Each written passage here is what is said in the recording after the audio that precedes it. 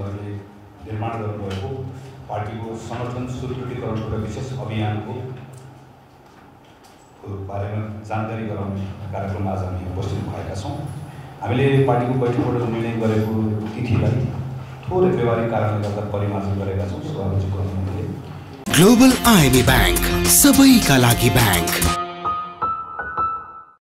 असोज सात गतेबाट यो प्रारम्भ हुनेछ र पौषको सोह्र गते हामीहरू यो राष्ट्रिय मेलमिलाप दिवसको दिनमा यो टुङ्गिन्छ आज केही सदस्य साथीहरू जसलाई हामीले खबर गरेर उपस्थित हुनुभएको छ केही साथीहरू काठमाडौँ बाहिर रहनु भएको हुनाले गर्दा सशरीर उपस्थित हुन नसक्ने जानकारी गराउनु भएको छ तर प्रविधि मार्फत अहिले उहाँहरू हाम्रो कुराहरू सुनिराख्नु भएको छ यो सय दिने अभियान भनेर अभियान भन्दै गर्दाखेरि योभन्दा पहिला चलाएको अभियानहरू हामी सम्झन्छौँ है त्यो बेलामा कार्यक्रमको उद्देश्य पार्टीलाई नागरिकहरूसँग जोड्ने थियो पार्टीका कार्यक्रमहरू गर्ने थियो त्यसैले हामीहरू बढी त्यो ढाँचाबाट कार्यक्रमहरू गऱ्यौँ। यो पटक चाहिँ पौष सोह्र गतेसम्म जुन समय अवधि छ यो अवधिभित्र हामीले अपेक्षा गरेका वा अहिले नियोजित गरेका निर्देशित गरेका निर्दिष्ट गरेका केही कामहरू छन् ती कामहरू सम्पन्न गर्नु यो बिचमा खटिनु भएको केन्द्रीय प्रतिनिधि त्यहाँ कति समय रहनुहुन्छ त्यो आवश्यकता अनुसार आफैले तय गर्नुहुन्छ कतिपटक जाने कतिपटक रहने त्योभन्दा पनि महत्त्वपूर्ण कुरा। यहाँ दिएको जिम्मेवारीहरू पुरा गर्ने। पौष सोह्र गते सकिसके पछाडि त्यसको लगत्तै केही पछाडि नेपाली कङ्ग्रेसको केन्द्रीय कार्य समितिको बैठकमा यसकै बारेमा मात्र केन्द्रित भएर हामीहरू छलफल गर्छौँ। छलफलको यसपालि रिपोर्टको हामीले ढाँचा पनि बनाएका छौँ। त्यो ढाँचासहित यहाँ प्रतिवेदन बुझाउँछौँ। र एकपटक चाहिँ जानुभएको साथीहरूलाई राम्रै समयभित्र आफूले गएको जिल्लामा आफूले गरेको कामको बारेमा सिङ्गो केन्द्र समितिलाई जानकारी गराउनु पर्ने एउटा व्यवस्था गर्छौँ। त्यसको मुख्य कुरा यो हो त्यस्तो अभियान भनेर हामी कति कति दिन रहन्छौँ भन्ने कुरा होइन। पहिलाको जस्तो हामी ती जानुपर्ने सशरीर सम्पूर्ण समय रहनुपर्ने सबै कामहरू टुङ्ग्याउनु पर्ने जुन विषय थियो त्योभन्दा फरक हामी धेरैबाट जानुपर्ने हुनु पनि सक्छ। कतिपय साथीहरूलाई काठमाडौँ ल्याएर यहाँ छलफल गराउनु पर्ने पनि हुनसक्छ आवश्यकता अनुसार त्यति कुरा प्रारम्भ गराउने यो यहाँबाट हटिनु भएको केन्द्रीय प्रतिनिधि साथीहरू सुरुमा जिल्ला कार्य समितिसँग बैठक राख्नुहुन्छ र जिल्ला कार्य समितिलाई यो अभियानको बारेमा सम्पूर्ण रूपमा जानकारी गराउनुहुन्छ। यो बैठकमा तपाईँहरूले सुरुमै जिल्ला सभापतिले निर्देश गरेर यसमा महासि महासमिति महाधिवेशन गाउँ कार्यपालिकाको सभापतिहरू सबैलाई अनिवार्य रूपमा उपस्थित गर्नलाई भन्नुहुन्छ। र त्यो बैठकबाट जिल्ला समन्वयसँग जिल्ला समितिसँग समन्वय गरेर खास गरिकन महाधिवेशन प्रतिनिधि साथीहरू वा जिल्लाका जिल्ला स्तरीय नेता साथीहरूलाई प्रत्येक पालिकामा प्रत्येक वडासम्म यो अभियानको समयावधि भएको लागि तपाईँहरूले प्रतिनिधिको रूपमा खटाउनुहुन्छ। र उहाँहरूलाई पनि केही कार्यदेशहरू दिनुहुन्छ केन्द्रीय प्रतिनिधिले सबै क्षेत्रमा पुग्नु पनि सक्छ सबै पालिकाहरू पुग्न पनि सक्नुहुन्छ आवश्यकता अनुसार कति ठाउँ जानुहुन्छ के गर्नुहुन्छ तपाईँले पाएको जिम्मालाई पुरा गर्ने क्रममा त्यसलाई आफैले निर्धारण गर्नुहुन्छ। तर सामान्यतः हामी क्षेत्रीय समितिसम्म त गइहाल्छौँ पालिकाहरूमा गइ नै हाल्छौँ तर त्योभन्दा पनि जाने कसरी जाने कसरी मिलाउने भन्ने कुरा तपाईँहरूले त्यसलाई आवश्यकता अनुसार त्यसलाई निर्धारण गर्नुहुन्छ। वडा र गाउँपालिकाको साथीहरूलाई तय गरिसके पछाडि मुख्यतः यसमा यो पार्टीको कमिटीहरूले पूर्णता नपाएको छ भने त्यो कमिटीहरूलाई पूर्णता दिलाउने विषयको सन्दर्भमा अस्ति भर्खर केन्द्रीय समितिले निर्णय गरेका छौँ हामीले कि जुन पदहरू रिक्त भएको छ त्यो पदलाई सम्बन्धित तहको सभापतिले प्रस्ताव गर्ने र समितिले अनुमोदन गर्ने अनुमोदन गर्ने कुरा अनिवार्य छ। यसरी यसरी यसलाई पूर्ति गर्ने भनेर निर्णय गरेका छौँ। यो एउटा काम गराउने हो प्रत्येक तहमा। बैठक यदि नियमित बसेको छैन भने त्यो नियमित बैठक बस्ने कुरालाई बैठक बसे नबसेको योभन्दा अगाडिको जानकारी लिने। तर अगाडिको जानकारी लिने कुरा जति महत्त्वपूर्ण छ त्योभन्दा बढी महत्त्वपूर्ण कुरा चाहिँ अब बैठक बस्ने कुरालाई निश्चित गर्नुपर्ने छ। केही ठाउँहरूमा महिनाको अन्तिम शुक्रबार यसरी बैठक बस्ने नियमित बैठकहरू पनि बसेको पाइन्छ। यसरी बैठक बसे सुनिश्चित बैठकमा उपस्थितिको कुरालाई यदि उपस्थिति उपस्थितिको कुरालाई यसलाई प्रभावकारी बनाउने विषयको सन्दर्भ कहाँ समस्या भएको छ के भएको छ कतिपय साथीहरू नेपाल छोडेर विदेश जानुभएको हुनाले गर्दा रिक्त भएको छ। त्यो ठाउँहरूलाई पनि पदपूर्ति गर्न पाउने गरी नस्ति हामीले निर्णय गरेका छौँ। धेरै ठाउँमा साथीहरू गुनासो यो थियो। अब अहिले नयाँ पदपूर्ति गर्न पाइसकेपछि बैठकहरू हुनुपर्ने कोरम पुग्नुपर्ने लगायतका कुराहरू गर्नुपर्ने मुख्य काम छ।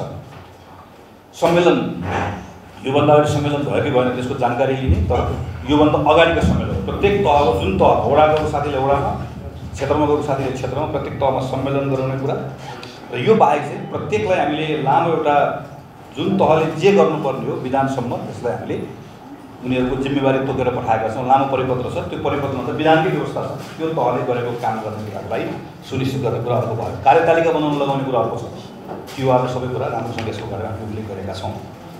यस पछाडि सदस्यताको सम्बन्धमा अर्को महत्त्वपूर्ण कुरा छ। सदस्यताको सन्दर्भमा हाम्रो पार्टी एउटा पार्टीको सदस्य छ पहिला हामी साधारण सदस्य हुन्थ्यो अहिले हामी सदस्य मात्रै हुन्छौँ। यो सदस्यको अभियान पनि कतिले चलाउनु भएको छ? अनलाइन सदस्यताको पनि व्यवस्था छ। यो सदस्यताको बारेमा जानकारी गराउने सदस्यताको अभियान चलाउन लगाउने कुरा एउटा भयो।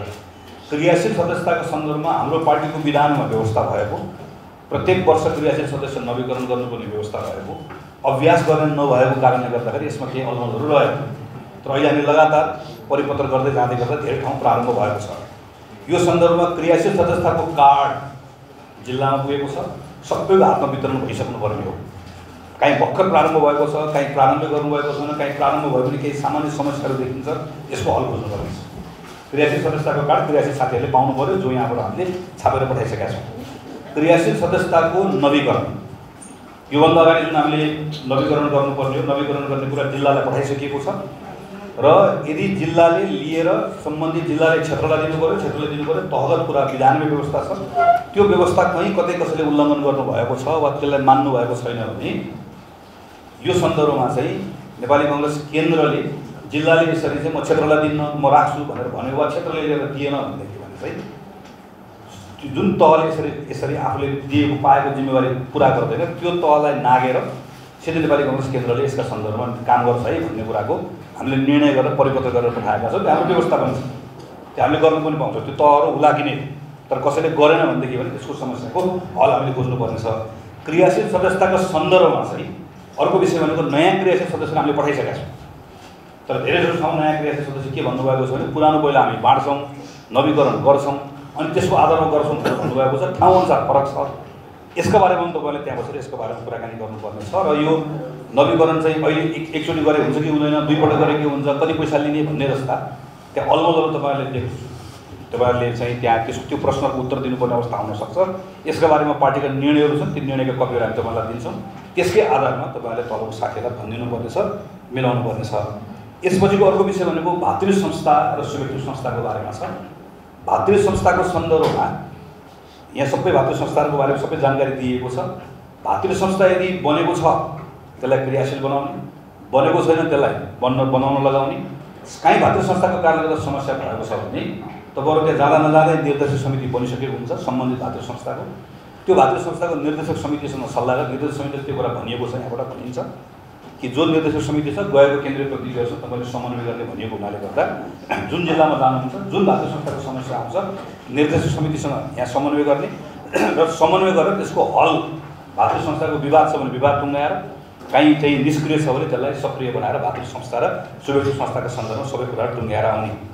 यसपछिको अर्को विषय भनेको अभिलेखीकरणसँग सम्बन्धित छ। हामीले तपाईँहरू आफैले जाँदा पनि महसुस गर्नुहुन्छ पार्टीको एउटा त पार्टीको नियमित विभिन्न जिम्मेवारीमा बसिरहेको साथीहरूको पनि पूर्ण अभिलेखका बारेमा केही ग्याप छ। यसमा तपाईँहरू यो गएको केन्द्रको साथीका फर्मेट दिन्छौँ हामी। यसमा कुरा गरिदिनु पर्नेछ। अर्को चाहिँ एउटा हामीले ठुलो महासमितिबाट निर्णय गरेर एउटा अक्षय कोष निर्माण गरेर प्रजातन्त्र सेनानी द्वन्द्व घाइते शहीद परिवार लगायतको साथीहरूको परिवारको सदस्यको शिक्षा र स्वास्थ्यमा मद्दत गर्नका लागि एउटा दस करोडको अक्षय कोष बनाउने भनेर निर्णय गरेका छौँ। हामी यसलाई तत्काल यो काम सुरु गर्छौँ अब। त्यसको निम्ति हामीले हामीसँग डेटा हुनुपर्छ अभिलेख सङ्कलन हुनुपर्छ। त्यो भएको कारणले गर्दा प्रत्येक जिल्लामा चाहिँ घाइते शहीद परिवार यो खास गरी घाइते शहीद परिवार प्रजातन्त्र सेनानी यो खालको परिवारको परिवारको बारेमा अथवा त्यो व्यक्तिको बारेमा नेताको बारेमा कम्तीमा प्रारम्भिक अभिलेख एउटा फर्मेट बनाएका छौँ। त्यसलाई तलको साथीहरूलाई काम लगाउने त्यसलाई आउँदाखेरि लिएर आउने कुरा भयो। मैले पदपूर्तिको बारेमा अघि नै भनिसकेँ। अर्को महत्त्वपूर्ण काम भनेको चाहिँ स्थानीय तहको समन्वय र सहजीकरण छ। एकदमै धेरै ठाउँमा तपाईँहरू सबैले हामी सबैले महसुस गरेका छौँ। हामी निर्वाचित भएको स्थानीय तह र पार्टीको बिचमा समन्वय कायम गर्नुपर्ने कुरा के चुनौतीहरू छन्? यो सन्दर्भमा अहिले हामीले एउटा संयन्त्र बनाउने कुरा चाहिँ अस्ति निर्णय गरेका छौँ। पार्टीको हामी केन्द्रीय समितिको बैठकबाट। यो संयन्त्रमा जुन तह हो पालिका भने पालिका वडा भने वडा जनप्रतिनिधिको तर्फबाट तिनजना पालिका अध्यक्ष उपाध्यक्ष वडा जो उहाँहरू बस्नु छान्नुहुन्छ तपाईँहरूले मिलाइदिने हो त्यो। पार्टी सभापतिसहित तिनजना सम्बन्धित तहको। र नेपाली कङ्ग्रेसको क्रियाशील सदस्य पार्टीकै साथी हो। तर चाहिँ त्यो पार्टीको पार्टीको संरचनामा रहेको भन्दा त्यहाँको स्थानीय बुद्धिजीवी वा समाजसेवी वा अलिकति सबैले स्वीकार गर्ने मान्छे जसले अलिकति समन्वयकारी भूमिका खेलिदिन सक्छ। पार्टी र स्थानीय साथीहरूको बिचमा अलिकति मतभेद रहँदै गर्दा समन्वयकारी भूमिका खेलिदिन सक्छ। तपाईँले तल लागेको यो समय राखेर संयन्त्र बनाइदिने। संयन्त्रले गर्ने कामको बारेमा टिआरमा सबै लेखिएको छ। यो काम दुई महिनामा बैठक बस्ने। अब त्यो संयन्त्रले नै पार्टी उसको बिचमा सेतुको काम गर्छ। यसमा अलिकति यसमा गरिदिनु पर्नेछ पार्टीको विधानमा भएको केही अवस्थालाई संशोधन गरेर लेबीको बारेमा तपाईँहरू जाँदै गर्दा प्रत्येक पालिकाको साथीले हामीले पालिका तोकेर चिठी पठाएका छौँ। उहाँहरूको पुरानो कति बाँकी छ गर्नुपर्ने कति छ भन्ने कुरा। यसका बारेमा तपाईँलाई जानकारी त्यो तल पठाइसकेको जानकारी म पछि गराउँछु। यो यसमा पनि अलिकति थोरै यहाँ भएको जिम्मामध्येको काम एउटा यो छ। र यस पछाडि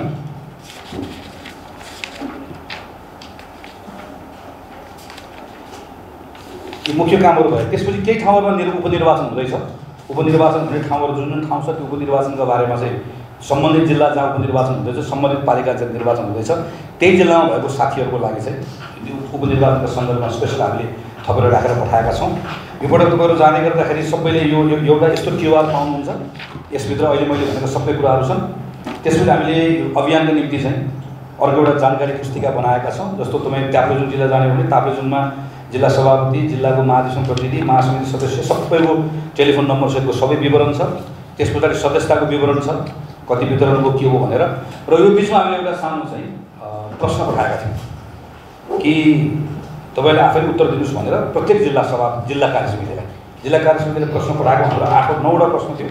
खास जस्तो तपाईँले क्रियाशील सदस्य वितरण कार्ड कहाँ पुग्यो भनेर प्रश्न पठाएको थियो उहाँहरूले जस्तो वडा वडामा वितरण भइरहेको लेखेर पठाउनु भएको छ। उहाँहरूले जे उत्तर दिनुभएको त्यो उत्तर हामीले तपाईँहरूले राखेका छौँ। अब यो मिल्न पनि सक्छ। यो कार्यालयलाई पठाइ पठाइदिँदै गरौँ त भनेर पठाइदिएको हुनु पनि सक्छ।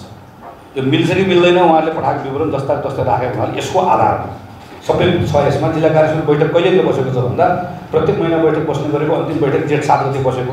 यी समेतका जानकारीहरू सबै यसमा तपाईँहरूको उपलब्ध छ। त्यसपछि हामीले सबै भातृ संस्थाहरूको जति पनि अहिले पार्टीबाट मान्यता प्राप्त भातृ संस्था स्वीकृति संस्थाको नामहरू हामीले लेखेका छौँ। त्यो अर्को एउटा चाहिँ तिहारमा छ। यो जिल्ला सम्पर्क समिति। यदि जिल्ला सम्पर्क समिति बनेको छैन भने जिल्ला सम्पर्क समिति बनाउने कुरा पनि यो अभियानको क्रममा तपाईँहरूले बनाइदिइसक्नुपर्छ। र त्यस पछाडि चाहिँ यो यसमा अर्को जानकारी राखेका छौँ। यो जानकारी भनेको चाहिँ अघिल्लो अभियानमा खटिलो भएको केन्द्रीय प्रतिनिधिहरू को को हुनुहुन्थ्यो भन्ने कुरा सबैको नाम टेलिफोन नम्बर राखिदिएका छौँ। जसले गर्दा अहिले जाने साथीहरूले अघिल्लो अभियान भएको साथीहरूसँग यसो कुराकानी गर्नुभयो भने त्यसो गर्दाखेरि चाहिँ तपाईँहरूलाई खास्नेको समस्या के छ भन्ने कुरा थाहा हुन्छ। र अन्य विवरण भनेर यहाँ पहिला लेख्ने मात्रै सोचाइ बनायौँ हामीले। पछि यसमा राखेन। किनकि यो अफिसियल डकुमेन्ट हो। तर म साथीहरूलाई के आग्रह गर्छु नेताहरूलाई भने जानुभन्दा पहिला अगाडिको केन्द्रीय प्रतिनिधि नेता साथीहरूसँग जानुभएको छ उहाँसँग सँग कुराकानी गर्नुभयो र कार्यालय चाहिँ यो बिचमा पूर्ण रूपमा तपाईँहरूको लागि उपलब्ध हुन्छ। जुन जिल्ला जानुभएको भएको र जिल्लाको चाहिँ खास समस्याहरू के छ त्यहाँ के कारणले गर्दा के भइरहेको छ भन्ने कुराको जानकारी कार्यालयसँग यथेष्ट जानकारी छ। त्यसलाई अफिसियल डकुमेन्टहरू लेख्न नमिले भएर मात्रै हो। त्यसलाई हामी तपाईँहरूसँग बसेर खास समस्या के छ के भएको छ भन्ने कुराहरू गर्नु पनि चाहन्छौँ। यस पछाडि चाहिँ महामन्त्रीले एउटा विषय राख्नु भएको छ कि यो स्थानीय सरकारको बेरोजुको बारेमा पनि हामी जानकारी राखेका छौँ। जसले गर्दा यहाँबाट गएको पार्टीको साथीले त्यहाँको स्थानीय सरकार र पार्टीको बिचमा समस्या छ त्यसको हल गर्ने। स्थानीय सरकार कसैको असाध्यै धेरै बेरोजु छ। ठिक ढङ्गले चाहिँ आर्थिक अनुशासन अनुसार काम गरेको छैन। त्यसलाई काम गर्न लगाउने त्यसलाई क्रियाशील बनाउने यो सबै कामहरू चाहिँ यहाँबाट जाने केन्द्रीय प्रतिनिधि साथीको हो। त्यसैले मैले म अन्तिम विषय मात्र छ। मैले सबै साथीहरूलाई अनुरोध गर्ने विषय चाहिँ यो पटक चाहिँ पार्टी सभापतिजीको एक प्रकारले अख्तियारी भनौँ वा चाहिँ केन्द्रको जिम्मेवारी भनौँ बोकेर साथीहरू जाने हुनुहुन्छ आवश्यकता परेको बेलामा कुनै कुनै ठाउँमा के हुनसक्छ भने अहिलेलाई म सबै जिल्लाको बैठक राख्छु। बैठक रोकेर म केही दिन केही साथीहरूलाई त्यहाँको महत्त्वपूर्ण नेता साथीहरूलाई काठमाडौँ बोलाउँछु सभापतिसँग राख्छु अरू पदाधिकारीसँग राख्छु यसको समाधान खोज्छु त्यसपछि मात्र गराउँछु भनेर यसरी विवाद समाधान गर्नुपर्ने हुन पनि सक्छ। कतिपय ठाउँमा के पनि हुनसक्छ भने होइन। पार्टीको पदाधिकारीलाई म त्यहाँ बोलाउँछु। तपाईँहरूले हामीलाई बोलाउनु भयो भन्ने भने हामी कोही पनि साथीहरू चाहिँ त्यहाँ तपाईँहरूको आउँछौँ त्यहीँ आउँछौँ त्यहीँ बस्छौँ प्रदेशको साथी आउनुपर्ने हो कि वा? या जानु र योपटक म धन्यवाद दिन चाहन्छु पार्टीका आदरणीय सिनियर नेताहरूले पनि हामीले अनुरोध गऱ्यौँ कार्यालयको तर्फबाट केही जिल्लाहरू सबै गाह्रो भएको छ। तपाईँहरू नगइदिकन हुन्न भनेर हामीले अनुरोध गऱ्यौँ आदरणीय विमल दाईलाई विजय दाईलाई ज्ञानेन दाईलाई बलवार दाईलाई थुप्रै अरू नेता साथीहरू सबै अनुरोध गरेका छौँ। केही जिल्लाहरू छन् जुन जिल्लामा तपाईँहरू सिनियर नेताहरू नगइदिकन त्यहाँ चाहिँ अगाडि नै बढाउन सक्ने अवस्था भएको छ भनेर भनेको छ। यसलाई स्वीकार दिनुभएको छ म यसको लागि एकदम आभार प्रकट गर्न चाहन्छु। यो बिचमा चाहिँ मैले फेरि अनुरोध गर्न खोजेको चाहिँ हामीले सोचेको भनेको चाहिँ तपाईँ सिङ्गो केन्द्र तपाईँ हो र त्यहाँबाट निस्कँदै गर्दा चार महिनाको बिचमा आउँदै गर्दाखेरि त्यहाँभित्र भएका भातृ संस्था शुभेच्छु संस्था निष्क्रियता सदस्यता लगायतको यावत समस्याहरू सक्ने जति चाहिँ गरेर त्यहाँबाट आउँदै गर्दा लय भनेर पुस सोह्र अन्तिम कार्यक्रम गर्दाखेरि चाहिँ तपाईँहरू पक्कै पुग्नुहुन्छ त्यहाँ पुग्दै गर्दा भव्य एउटा चाहिँ त्यो राष्ट्रिय मेलमिलाप दिवसको दिन चाहिँ पार्टीभित्रको मेलमिलाप पार्टीभित्रको एकता पार्टी सिङ्गो पार्टीलाई सुदृढ बनाउने कुराको सन्दर्भमा असाध्यै सकारात्मक सन्देश जाने गरिकन कार्यक्रम हुने माहौल चाहिँ जाने प्रतिनिधिको सफलता चाहिँ त्यहाँसम्म पुर्याउने कुरामा कति मै त्यो त्यसकै आधारमा चाहिँ सफलताको मापन हुन्छ भन्ने कुरा हामी सबैले मानिनुपर्ने अवस्था छ यो बिचमा पार्टी कार्यालय पूर्ण रूपमा क्रियाशील रहन्छ तपाईँहरूले मैले पनि भने जे कुराको जानकारी आवश्यक सहयोग यी सबै कुराहरू हामीले उपलब्ध गराउँछौँ मैले यति कुरा जानकारी गराएर अब अन्तिममा चाहिँ यहाँ सँगसँगै के पनि रहन्छ हाम्रो यो क्युआरको एउटा महत्त्वपूर्ण अर्को विषय भनेको चाहिँ केही समसामयिक विषयहरू छन् केन्द्रबाट तपाईँहरू नेता साथीहरू जाने हुनुभएको हुनाले गर्दा अरू त यत्रो नेताहरू हुन्छ मैले यसमा भनिराख्नु परेन। खालि पार्टीको तर्फबाट चाहिँ केही कुराहरू छन् जसका बारेमा चाहिँ त्यहाँ तल साथीहरूले जिल्ला कार्यसमितिको बैठकमा तपाईँहरूले जानकारी गराइदिनु पर्नेछ त्योभन्दा बाहेक हामी धेरै सार्वजनिक कार्यक्रमहरू गर्दैनौँ। हामी यो बेलामा पार्टीको आन्तरिक कार्यक्रमहरू हो। त्योमध्येको एउटा विषय भनेको नेपाल कम्युनिस्ट पार्टी एमाले र नेपाली कङ्ग्रेस बिच भएको सात बुधे सहमतिको बारेमा र यस सात बुधे सहमतिको आधारमा सरकार गठन भएको छ। मान्य सम्मान्य केपी शर्मा ओलीको नेतृत्वमा सरकार छ। दुई वर्ष सरकार चलिसके पछाडि त्यस पछाडि पार्टी सभापति आदरणीय मान्य शेरबहादुर देवाको नेतृत्वमा नेपाली कङ्ग्रेसको सभापतिजीको नेतृत्वमा सरकार बन्छ। यो यो समझदारीमा हामी शत प्रतिशत कमिटेड छौँ। र यसलाई इमान्दारीतापूर्वक यसलाई कारण गर्ने कुराको सन्दर्भ यसको वातावरण जिल्ला तहमा तल पनि हामीले बनाउनु पर्नेछ।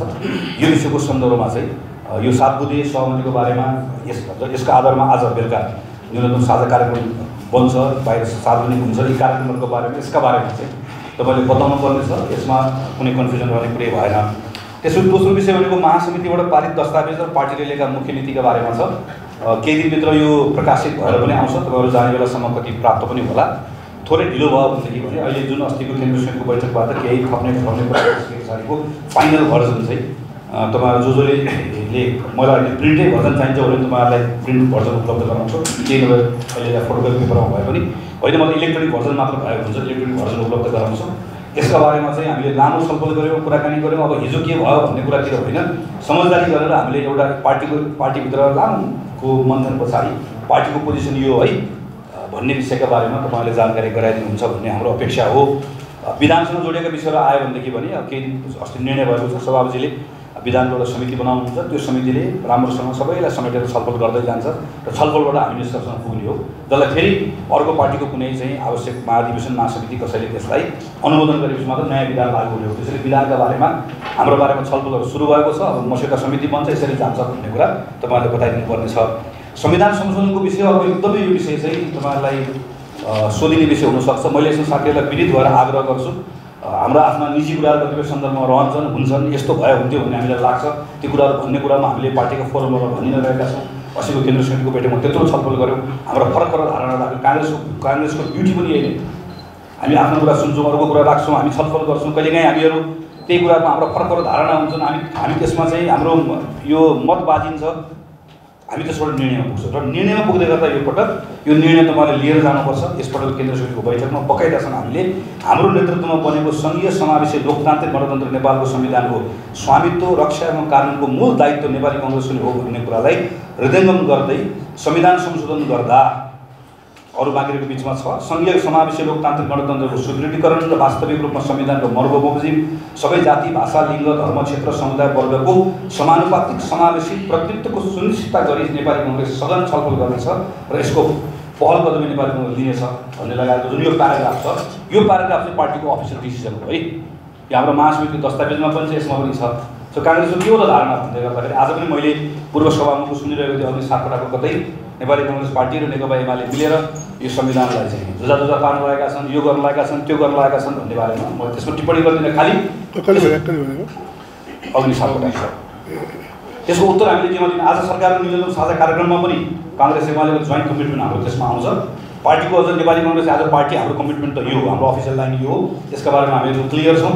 यसरी हो है हाम्रो पार्टीको पोजिसन यो छ भनेर साथीहरूलाई कुनै कन्फ्युजन नरहने कुरा भनिदिनु पर्नेछ र अब अन्तिम कुरा भनेको समसामयिक विषयका बारेमा पनि केही कुराहरू आउँछ। समसामयिक विषयका सन्दर्भमा अहिले सर सरकारसँग हामीले राखिरहेका मागहरूको बारेमा पनि यही प्रेस विज्ञप्तिमा छ पछिल्लो मागहरू। अझ पनि यसलाई यसलाई सजिलो बनाउनको लागि हामी एउटै कपीमा प्रिन्ट गरिदिन्छौँ नेपाली कङ्ग्रेसले समसामयिक विषयहरूका सन्दर्भमा जनताका जनजीविकाको सवालको विषयमा के विषय उठाइरहेको छ? चाहे त्यो किसानको दुधको भुक्तानीको विषयमा होस् चाहे मलको विषयमा होस् चाहे पार्टीका बारेमा होस् यी विषयहरूका बारेमा चाहिँ पार्टीको अफिसियल धारणा के हो हामी के बोलिरहेका छौँ के भनिरहेका छौँ भन्ने कुरा त्यो पनि एक कपी हामी प्रिन्ट गर्छौँ त्यसलाई तपाईँहरूले हेरिदिएर भनिदिनु भयो भने साथीहरू यसको बारेमा जानकारी हुन्छ। र योसँग अब पछिल्लो यो एउटा विषय विषय पनि उठेर आउँछ तपाईँहरूलाई हामीलाई सोधिन्छ। हामी जो जाँदै गर्दाखेरि पनि कि नेपाली कङ्ग्रेस पार्टीले पार्टीकै केन्द्रबाट निर्णय गरेर संसदीय दलबाटै निर्णय गरेर हामीले सहकारीबाट पीडित हुनुभएको बचत चाहिँ पीडित हुनुभएको साथीहरूको बारेमा बचत फिर्ता गर्नुपर्छ साथीहरूले न्याय पाउनुपर्छ। सहकारीलाई लाई यो शक्तिको दुरुपयोग गर्नेहरू जस्तै सहकारीमा अपचलन गर्नुभएको छ।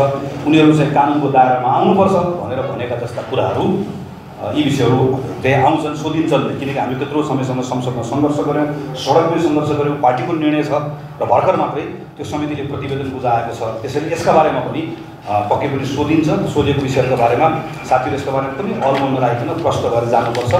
यो विषयको सन्दर्भमा मुख्य कुरा भनेको चाहिँ सहकारीमा यति धेरै सानसाना मानिसहरूले बचत गर्नुभएको थियो। हामीले जहाँ जानुपर्ने कुरा आउँछ अस्ति भर्खर म चितवन गएको थिएँ। लम्कीबाट लम लम्की होइन दाङको? लमै। लमैबाट लमैबाट दाइ लमैबाट। लमैबाट आफ्नो घर बेचेर पाँच छ लाख रुपियाँ ल्याएको। दिउँसो गाडामा त्यहाँ मकै बेच्ने बेलुका अर्काको घरमा गएर भाडा माझेर कुल पन्ध्र लाख रुपियाँ जम्मा गरेको। त्यहाँ जम्मा गरेको पैसा चाहिँ यहाँ अब प्रकारान्तरित कहाँ आयो भन्दा यहाँ गोर्खा मिडियामा आयो। त्यो पन्ध्र लाख रुपियाँ काङ्ग्रेसले उपलब्ध गराइन्छ कि भन्छ कि भनेर हाम्रो पार्टीको कार्यक्रम बाहिर आएर बच्चा लिएर आएर बस्नुभएको थियो। जहाँ गयो पनि यस्तो मानिसहरू तपाईँले भेट्नुहुन्छ। हाम्रो लडाइँ उनीहरूको लागि थियो। हाम्रो लडाइँ उनीहरूको लागि हो। यो विषयको सन्दर्भमा यो अहिलेको समितिले स्पष्टसँग बाटो देखाएको छ कि सहकारीको सन्दर्भमा खास गरिकन यत्रो ठुलो सहकारीभित्र यत्रो लाखौँ बचतकर्ताहरू छन्। उनीहरूको बचतको सुरक्षा कसरी गर्ने? जसले बचत गुमाएका छन् तिनको बचत फिर्ता कसरी गराउने? भविष्यमा सहकारीमा समस्या आउन नदिने के गर्ने? कस्तो कस्तो संरचना बनाउने? प्राधिकरण बनाउने? बिमा गर्ने? बचतको सीमा राख्ने? सुधारका कुराहरू के के हुन्छन् भन्ने बारेमा केही कुराहरू योभन्दा अगाडिको अध्ययनहरूले गरेको कुराहरू दोहोऱ्याएको छ। केही कुराहरू? अहिले उसले नयाँ कुराहरू थपेको छ किनकि नयाँ अनुभव नयाँ अहिलेको ज्ञानका आधारमा। अब हाम्रो काम के हो? अब नेपाली कङ्ग्रेसको काम भनेको यो संसदीय समितिको प्रतिवेदनले जे कुरा भेट्टाएको छ ठम्म्याएको छ अब यो सरकारलाई निर्देशन दिइसकिएको छ। हामी आफै भएको सरकारबाट यसको कार्यान्वयन गराउने जिम्मा हाम्रो। अब काङ्ग्रेसले के गर्छ? हामीसँग काम गर्छौँ। हामी ती गरिब बचतकर्ताहरूको बचत फिर्ता गराउने कुराको सन्दर्भमा हाम्रो जिम्मेवारी छ भनेर हामीले साथीहरूलाई बताउनु पर्ने छ समस्याग्रस्त सहकारी भनेर घोषणा भएको छ। अरबौँ रुपियाँ डुबेको छ। त्यसका मानिसहरू पक्राउ परेका छन्। तर कछुवाको चाल्न सका पैसा फिर्ता भएका छन्। तिनले अर्को दसौँ वर्ष पैसा फिर्ता हुनुभयो ती मान्छे सडकमा छन् अनसन बसेका छन् आन्दोलन गरेका छन्। हामीले अर्को यो विषय उठाएका थियौँ। यसका बारेमा पनि समितिले राम्रोसँग अध्ययन गरेर निष्कर्ष निकालेको छ र यसरी हुँदैन है एउटा डेडिकेटेड टिम बनाएर फास्ट ट्र्याकबाट काम गर्नुपर्छ भनेर के सुझावहरू दिएको छ यो अहिले हाम्रो सङ्घर्षको उपलब्धि हो। हाम्रो सङ्घर्षको उपलब्धि अब यी साथीहरूले आफ्नो डुबेको बचत फिर्ता पाउने बाटोमा जान्छ। हाम्रो सङ्घर्षको उपलब्धि भनेको अब सहकारीभित्र भएको अपचलन विचलन हुने कुरा रोकिन्छ।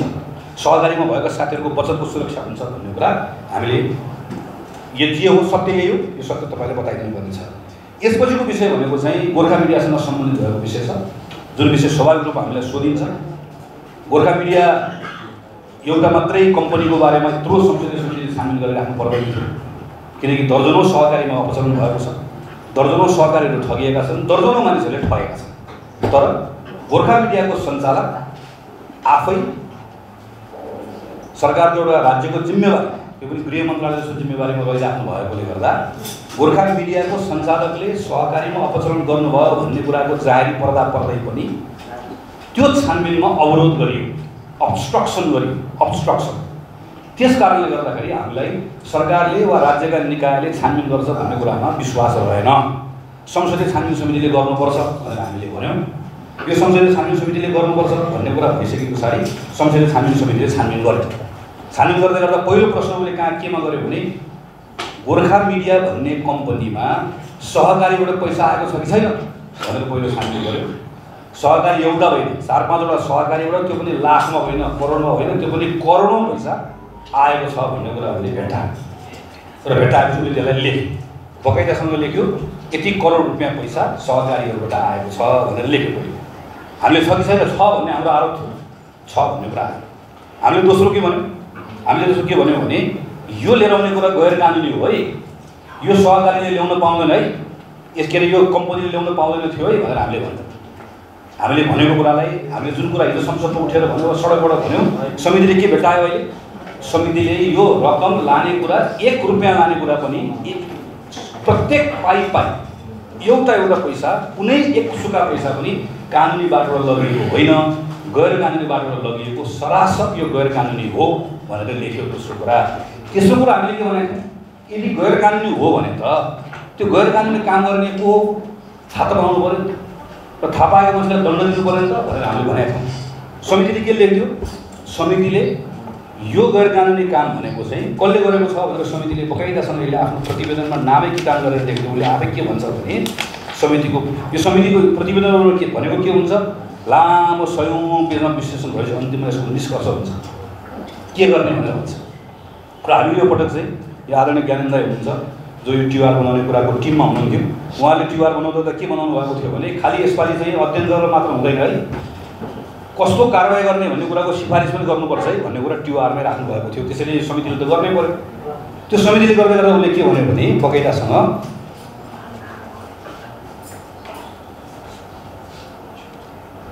निज सञ्चालकहरू अध्यक्ष जितेन्द्र बाबु राई सदस्य कुमार अन्तेल तथा तत्कालीन प्रबन्ध निर्देशक रवि लामी छाने र सञ्चालक छविलाल जोशी कम्पनीमा साझेदारको रूपमा बहाल रहेको अवधिमा सहकारीबाट कम्पनीमा आएको रकमको हकमा जिम्मेवार रहेको हुँदा प्रचलित कानुन बमोजिम कारवाहीकोलाई सिफारिस गर्ने। बकैदासँग प्रतिवेदनले के भन्थ्यो निजहरूले गैर कानुनी काम गर्नुभएको हुनाले गर्दा प्रचलित कानुन बमोजिम कारवाही गर्ने। अब यो प्रचलित कानुन भनेको के हो? यो पनि हामीले बताउनु पर्ने हुन्छ। प्रचलित कानुन भनेको पहिलो भनेको चाहिँ सहकारी कानुन। सहकारी कानुनमा दफा एक सय बाइस भन्ने छ। त्यो सहकारी कानुनको दफा एक सय बाइसले के भन्छ भने सहकारीमा ठग्ने मान्छेहरू दुई खालका हुन्छ। धेरै खालका मध्येको दुई खालका हुन्छ। एउटा आफै सहकारीमा बस्छन् र सहकारीलाई ठग्छन्। एउटा आफू सहकारीमा बस्दैनन् बाहिर बस्छन् तर विभिन्न माध्यमबाट सहकारीलाई ठग्छन्। त्यसैले सहकारीमा बसेर ठग्नेहरू पनि ठगै हुन्। गल्ती नै गरे। तर आफू सहकारीमा बस्दैनन् बाहिर बस्छन् कम्पनीमा बस्छन् वा घरमा बस्छन् केहीमा बस्छन्। तर त्यो सहकारीबाट लान नपाउनु पनि पैसा लिएर जान्छन्। त्यो पनि ठगै हो भनेर त्यो दफा एक सय बाइसको तले के भनिदियो भने सहकारीमा बसेर पैसा दिने मात्र होइन है। सहकारीबाट पैसा लिने पनि ठग हो। सहकारीको ठगी भनेको कुरा बुझ्न आवश्यक छ है। सहकारीको यहाँ बेला बेलामा तपाईँहरूले यसो कहीँ सुनिराख्नु भएको छ नि होइन? सहकारीको ठगी भनेको त सहकारीले लगेको रहन्छ नि। सहकारी ठगी भनेकै कानुन बनाउँदै के हामीले बनाएको कानुन है त्यो हामी नै हुँदा बनाएको। के देखियो सहकारीमा प्रवृत्ति भने? सहकारीमा बसेर ठग्ने भन्दा पनि सहकारीमा नबसेर ठग्नेहरू धेरै हुँदो रहेछ। त्यसैले कानुनमै के लेख्यो भने? सहकारीमा बसेर ठग्ने भन्दा पनि जति दोषी हो सहकारीमा नबस्ने तर सहकारी लाने पनि ठग हो है भनेर लेख्यो। त्यसैले यो प्रचलित कानुन भनेको एउटा सहकारी कानुन हो दफा एक सय बाइस। त्यसपछिको अर्को कानुन भनेको के हो त? त्यसपछि अर्को कानुन भनेको चाहिँ सङ्गठित अपराध सम्बन्धी कानुन हो। यो सङ्गठित अपराध सम्बन्धी कानुनले के भन्छ? सङ्गठित अपराध सम्बन्धी कानुनले के भन्छ भने कुनै पनि यो यस यसभित्र मुलुकी अपराधी अपराध संहिताको दफा तिस। यसले के भन्छ? कुनै पनि सङ्गठित संस्थाबाट भएको कसुरमा काम गर्ने गराउने।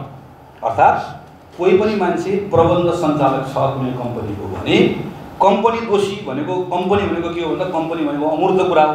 हावामा त कम्पनी हुँदैन कम्पनी भनेको साइनबोर्ड होइन। कम्पनी भनेको त्यसको मालिक र एमडी हो भनेर भन्छ। त्यसरी अर्को प्रचलित कानुन भनेको यो अझ अर्को तपाईँले थाहा पाउनुपर्ने कुरा यो समितिको प्रतिवेदनले के भन्छ भने यो गोर्खा मिडिया भनेको यस्तो विचित्रको कम्पनी रहेछ कि यो त गोर्खा मिडिया भन्ने कम्पनी त खोल्दाखेरि कम्पनी खोल्दा पैसा हालिन्छ नि पहिला अनि पछि ऋण लिने हो नि त यो त खोल्दाखेरि पनि यसले खल्तीबाट एक रुपियाँमै हालेको होइन रहेछ है। यसले त खोल्दाखेरि पनि सहकारीबाट ठगेर ल्याएको रहेछ। यसको त बिउ पुँजी पनि खल्तीको होइन रहेछ। र त्यो गर्नलाई के भन्छ यसले? गोर्खा मिडिया नेटवर्क प्राली लगायतका कम्पनीहरूमा सेयर खरिद बिक्री गर्दा कानुन बमोजिम पेस हुने भुक्तानीका साधन र उपकरणहरू पूर्ण नभई किर्ते कागजमा आधारमा खरिद बिक्री भएको पाइएको हुँदा। त्यसैले यो त यतिसम्म कि गोर्खा मिडिया भन्ने कम्पनीको त सुरुको बिउ पुँजी पनि किर्ते कागज राखेर गरेको हो। त्यसैले यो ठगमा त अर्को पनि ठगी थप्यो। त्यसैले मैले गएको माने ईश्वरी पौडेललाई माने दिलेन्द्र पौडेललाई सोधेँ। तपाईँले सबै कानुनको नाम किन नलेख्नु भयो? भनेको उहाँले भन्नुभयो एउटा भएको लेख्नु ठगी पनि छ किर्ते पनि छ सहकारी पनि छ फौजदारी पनि छ।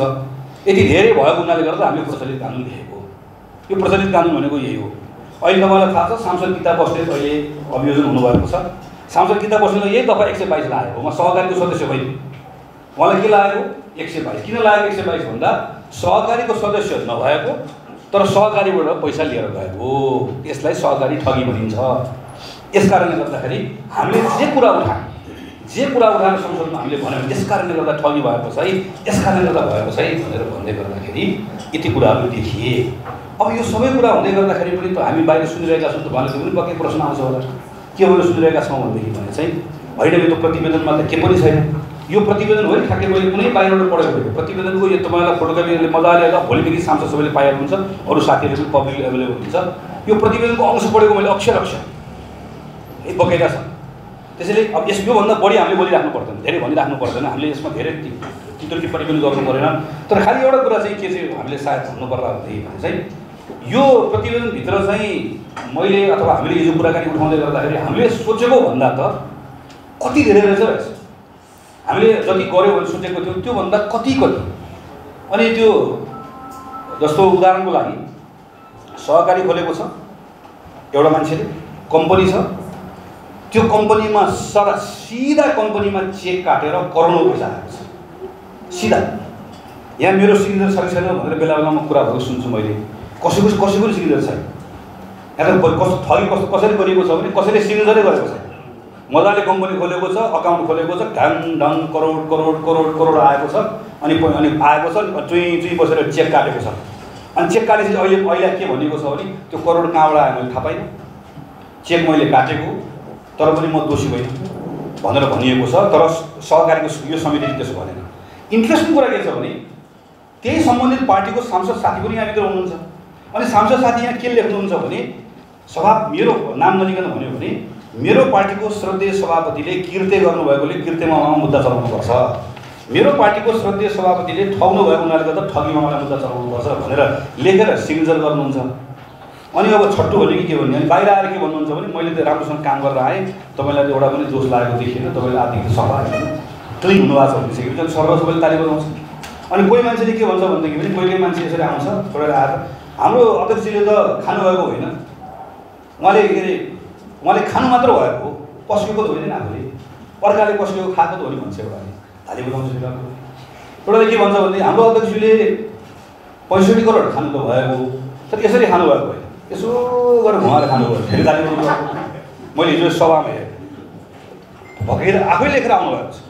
है अहिले यहाँभित्र भएको अवस्था भनेको। त्यसैले यो प्रतिवेदन काम गर्ने काम संसदको समितिको थियो। सर्वसम्मत प्रतिवेदन तयार भएको छ। मलाई चाहिँ म मान्य ईश्वरी पौडेल दिलेन्द्र बडु पार्टीबाट जानुभएको साथीहरूलाई धन्यवाद। ए ईश्वरी नेवानी धन्यवाद सरी धन्यवाद दिन चाहन्छु। ईश्वरी दिदीलाई दिलेन्द्र बडुलाई र सूर्य थापा जसले नेतृत्व गर्नु अरू साथीहरूले जसले एकदमै दुःख गर्नुभएको छ र मलाई के विश्वास छ भने यो प्रतिवेदन कार्यान्वयनमा सरकारले तत्काल लिएर जान्छ लिएर जानुपर्छ। यत्रो दुःख गरेर संसदले बनाएको छ। सरकारको जिम्मेवारी हो। र जिम्मेवारी सरकारले आफ्नो जिम्मेवारी पुरा गर्दै गर्दाखेरि कुनै मलैजा राख्नुहुन्न हाम्रै पार्टीको नेता हाम्रो पार्टीको पदाधिकारी हाम्रो पार्टीको उपसभापतिको बारेमा पनि तपाईँहरूलाई पक्कै पनि कतिपय ठाउँमा सोध्नु होला। मलाई मलाई के लाग्छ त्यो बेला मैले उहाँलाई सोधेको थिएँ। उहाँले आफैले पनि सँगसँगै उभिएर भन्नुभएको छ बोल्नु भएको छ कि ममाथि अ- अनुसन्धान होस् ममाथि छानबिन होस् र दुधको दुध पानीको पानी होस् भनेर उहाँ आफैले भन्नुभएको छ। र नेपाली कङ्ग्रेस पार्टीको पनि यो बेलामा चाहिँ यो संसदीय समितिले छानबिन गरेको छ र उहाँ संलग्न भएको भनेर भनिएको सहकारीका सन्दर्भमा थप अनुसन्धान गर भनेर सरकारले भनेको छ। सरकारले यसको बारेमा थप अनुसन्धान गर्नुपर्छ। गर्छ भन्ने विश्वास। र यसका सन्दर्भमा चाहिँ नेपाली कङ्ग्रेस पार्टीको हाम्रो आफ्नो पोजिसन कि निर्दोषले कहीँ पनि कहीँ पनि अनावश्यकले दुःख पाउनुहुन्न दोषी छ भने कसैले पनि उन्मुक्ति पाउनुहुन्न भन्ने हाम्रो आफ्नो मान्यता छ। त्यही मान्यताको आधारमा हामीले आफ्नो पोजिसन राख्यौँ। यी सबै कुराहरूको बारेमा मैले किन सन्दर्भ भने तपाईँले तल साथीहरूलाई सोद्धाखेरि बताइदिनुपर्छ। एउटा मात्र कुरा पनि भनिदिनु भएको हुन्छ हामीलाई विधिको शासन विश्वास छ। हाम्रो कोहीसँग व्यक्तिगत दुश्मनी छैन। नेपाली कङ्ग्रेस पार्टीको कोहीसँग छैन। यो यो कुरा तपाईँहरूले भनिदिनु भयो हुन्छ भन्ने लाग्छ र मलाई खालि एउटा कुरा लागेको अन्तिममा चाहिँ मलाई रोचकरको लागेको चाहिँ कतिपय साथीहरू हिजो हामीहरूसँग पनि काम गरेर जानुभएको साथीहरू पनि अहिले हुनुहुन्छ अनि अरू पार्टीहरूमा अनि स्वाभाविक पनि हुनुभयो। कति उहाँहरू पनि हामीले कुरा सिक्यौँ विद्वान साथीहरूसँग नसिक्ने कुराहरू सिक्यौँ। हामीसँग पनि सङ्गत गर्दै गर्दा केही कुराहरू सिक्नुभयो भन्ने लाग्यो। तर सिक्नुभएको रहेछ। मैले यसो कोही पनि सिक्नु भएको रहेछ। हाम्रो त सभापति पनि पढ्दै गर्दाखेरि पढ्दै गर्दाखेरि लडेर आउनुभएको हामी पनि बेला बेलामा चाहिँ कतिपय कुराहरू हामी त यहाँ लड्छौँ त्यहाँ त अध्यक्षको पापको भारी अपराधको भारी कसले बढी बोक्ने भन्ने कुराको प्रतिस्पर्धा छ उसले पनि ताली बजाएको छ उसले पनि ताली बजाएको छ। नाम पार्टीको स्वतन्त्र छ मान्छेको पनि स्वतन्त्र छैन। सबैलाई प्रतिस्पर्धा छ कसले ताली बढी बजाउने भन्ने कुराको व्यापक प्रतिस्पर्धा छ। तर ठिकै छ खै यसको बारेमा किन अरूको पार्टीको बारेमा धेरै टिप्पणी गरौँ? मैले एकचोटि फेरि सबैलाई धन्यवाद दिन्छु। मूल रूपमा मैले विषय कुन अर्थमा उठाएको हो भने तपाईँहरू यत्रो केन्द्रको नेता पर्सि जिल्ला सात गते हो। आठ गते नौ गते जानुहुन्छ जिल्लाको बैठक राखेपछि। यो विषयको बारेमा छलफल हुन्छ। यो अलिकति टेक्निकल कुरा पार्लियामेन्टको कुरा भएकोले गर्दा मैले डिटेलमा आएको। बाँकी सबै कुरा मैले भन्दा बढी तपाईँले जान्नुभएको छ थाहा पाउनु भएको छ। सूचित हुनुहुन्छ हामी सँगै बसेर काम गरिरहेका छौँ केन्द्रमा बसेर काम गरिरहेका छौँ। केन्द्रीय प्रतिनिधिहरूको बारेमा केही प्रारम्भिक कुराहरू गरिएको छ। केही साथीहरूको त्यसमा अलिकति आफ्ना केही धारणाहरू नेताहरूको पनि छ। सभापतिसँग बसेर सात गते भएको कारणले गर्दाखेरि चार गते तिन गते भोलि बिदा छ। चार गते साँझसम्म तपाईँहरूलाई हामी यसलाई फाइनल गरेर तपाईँको जिल्ला यो हो तपाईँको प्याकेट यो हो भनिकन चाहिँ तपाईँहरू हामी सबै साथीहरूलाई दिन्छौँ। यसलाई त्यसरी नै बुझिदिनु होला। र यसमा अरू थप छलफल अब यहाँ पछि यसमा अरू केही कुरा कार्य गर्नु पऱ्यो भने कार्यालयमा बसेर यसो तपाईँको केही सुझावहरू पछि छ भने यसमा हामी टिवारमा पनि थपाउँला खास गरी चाहिँ जिल्ला वाइज हामी जिल्ला वाइज तपाईँहरूसँग बस्न चाहन्छौँ। आवश्यकता पर्दा सभापतिजीलाई राखेर नपर्दै गर्दा हामी पदाधिकारी बस्छौँ। र यसपालि सल्युसन तपाईँले खोजिदिनुपर्छ। पार्टीमा एकदम ठुलो चाहिँ तपाईँहरूको चाहिँ असाध्यै ठुलो भूमिका हुन्छ भन्ने कुराको आशा हामीले राखेका छौँ अपेक्षा गरेका छौँ। यति नै कुरा राख्छु। धन्यवाद जय